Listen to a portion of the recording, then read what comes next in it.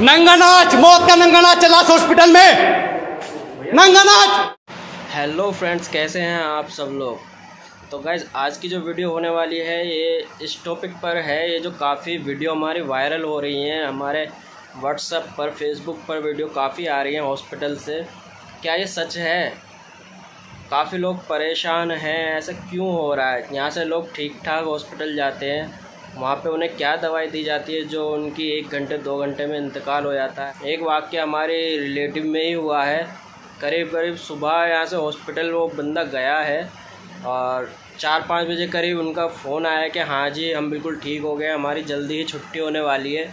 और करीब एक डेढ़ घंटे बाद फिर हॉस्पिटल से खबर सुनने को मिलती है कि भाई बंदे का इंतकाल हो गया। तो ये क्या हो रहा है? वहाँ पे जो इंजेक्शन लगाया जा रहा है, उसमें ऐसा क्या है? इसमें क्यों दिक्कत आ रही है? तो गाइज़ मेरे पास काफ़ी वीडियो आई हैं, इससे रिलेटेड मैं भी आपको एक शॉर्ट दिखाता हूँ। इधर हो गई है, और एक की बच्ची मर गई है। कल पाँच बजे हंसती बोलती हुई आई है, टाटा बाय करती हुई आई है। सुबह डॉक्टर नहीं आया चार बजे से। अभी तीन घंटे पहले बोलो बच्ची मर गई। इधर देखिए, एक डेथ ये हो गई, ये रो रही है, परिजन वाले। इधर ये भी रो रहे हैं। ये बच्चे की माँ है और ये दूसरा केस ये है। दूसरी डेट ये हो गई है। लगातार यहाँ डेथ हो रही है और डॉक्टर बोल रही डॉक्टर नहीं आ रहे यहाँ पे। एक लेडीज़ तो बिल्कुल पागल सी हो गई अपने, उसके बच्चे का इंतकाल हो गया हॉस्पिटल में। बिल्कुल ऐसे साइड में बैठी हुई है, आप देख सकते हैं, आपने फेसबुक पे भी जहाँ तक मैं उम्मीद है देख ली होगी या व्हाट्सअप पे भी आपके आ गई होगी। तो ऐसा क्यों हो रहा है? ये दिक्कत क्या आ रही है? सरकार को एक बार देखना चाहिए इसमें ये वैक्सीन लगा रहे हैं कोरोना के नाम पर, क्या ये ठीक है?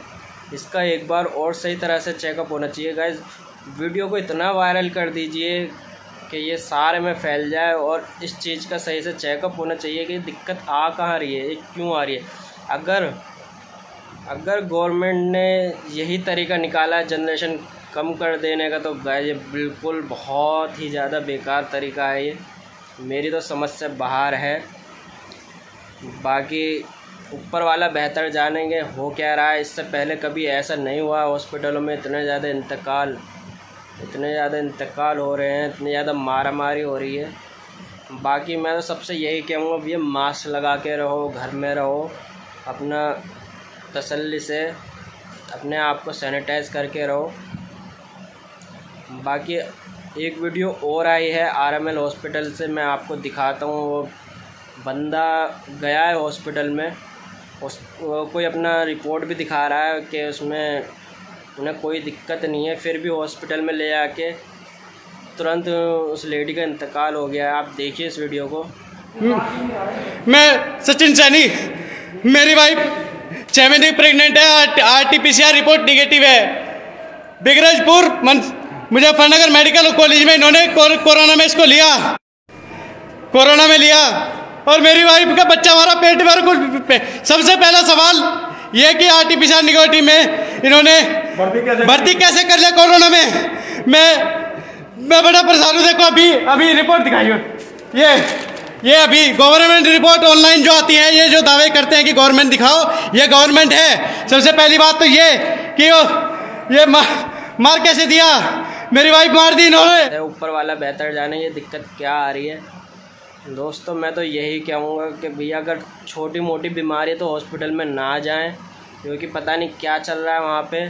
काफ़ी दिक्कत सामने आ रही हैं, क्योंकि जो हॉस्पिटल जा रहा है, वो उसका लगभग इंतकाल ही हो जा रहा है। तो मेरी तो समझ से बाहर है। यार, आप मुझे बताओ कि चल क्या रहा है? कमेंट में प्लीज़ बताइए सारे के सारे।